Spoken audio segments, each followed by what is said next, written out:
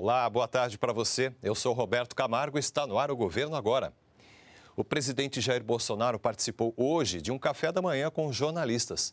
Luana Karen acompanhou e tem as informações direto do Palácio do Planalto. Oi, Luana, boa tarde para você. Olá, Roberto. Boa tarde. Boa tarde a todos que nos acompanham aqui na TV Brasil. Pois é, o Café da Manhã reuniu 31 jornalistas de vários veículos de comunicação que trabalham todo dia aqui no Palácio do Planalto. O presidente Jair Bolsonaro indicou que pode sancionar na próxima segunda-feira o projeto de lei que isenta de cobrança de uma bagagem extra é, em voos comerciais e disse que pode editar, na sequência, uma medida provisória separando as grandes empresas aéreas das empresas low cost, ou seja, empresas de baixo custo, para que essas empresas, empresas de baixo custo possam então cobrar pela bagagem adicional. Ao falar sobre a nova previdência, o presidente disse que é natural ceder, que não se pode forçar a barra, mas disse também que é preciso ficar no limite da economia proposta para mostrar ao mundo que o país está fazendo o dever de casa. Eu perguntei ao presidente Jair Bolsonaro sobre política internacional. Ele vai para a reunião do G20 no final desse mês no Japão, G20 que reúne as maiores economias do mundo. E o presidente disse que é preciso resgatar a confiança do mundo no Brasil. O presidente Bolsonaro também afirmou que não tem nenhum problema com a China, o nosso principal parceiro comercial. Roberto, voltamos com você. Tá certo, Luana. Muito obrigado pelas informações. Ótima tarde para você.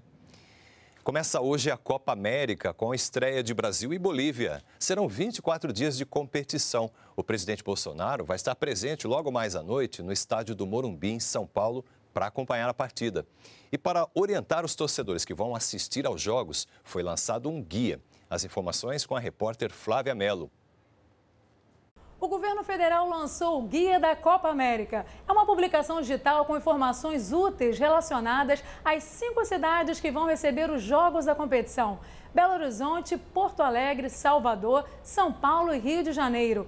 O manual está disponível em três idiomas: português, espanhol e inglês. Quem tiver o guia tem acesso ao conteúdo sobre pontos turísticos, dicas de segurança, estrutura de saúde, mobilidade, documentos de viagem e não poderia faltar a tabela completa da Copa América. A competição começa na noite de hoje com o jogo entre Brasil e Bolívia no estádio do Morumbi, em São Paulo, e vai até 7 de julho. Do Rio de Janeiro, Flávia Melo para o Governo Agora. O ministro do Desenvolvimento Regional, Gustavo Canuto, está hoje em Petrolina, Pernambuco, para acompanhar de perto a Operação Carro-Pipa. O programa emergencial de distribuição de água potável no semiárido brasileiro é fruto da cooperação técnica e financeira entre os Ministérios do Desenvolvimento Regional e da Defesa. São atendidas populações rurais atingidas pela seca no Nordeste e Norte de Minas Gerais e Espírito Santo. O governo agora fica por aqui. Continue nos acompanhando também pelas redes sociais. Nos vemos na próxima edição. Até lá!